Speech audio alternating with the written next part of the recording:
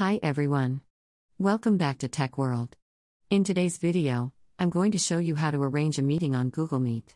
Keep watching the video till the end in order to learn how and subscribe to our channel by hitting the subscribe box and also press the notification bell icon so that you'll never miss another update from us.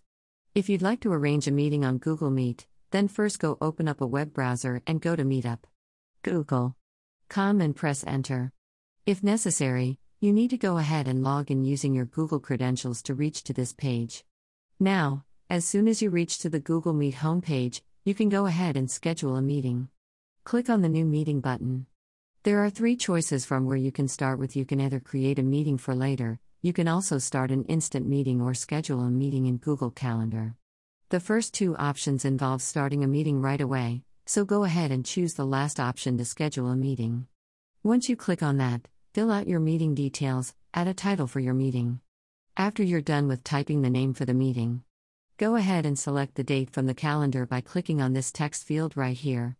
Select the date when you'd like the meeting to start and then enter the time for the meeting, the starting time, and the ending time for the meeting.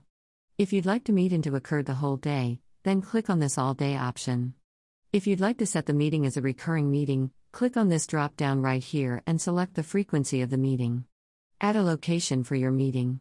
From the drop down below, select how you'd want the notification to be sent to your participants. Fill out the rest of the information that is description for your meeting and the visibility for your meeting. And much more than finally, after you're done. You can click on this text box right here and add guests for your meeting. And finally, after everything's done, click on Save.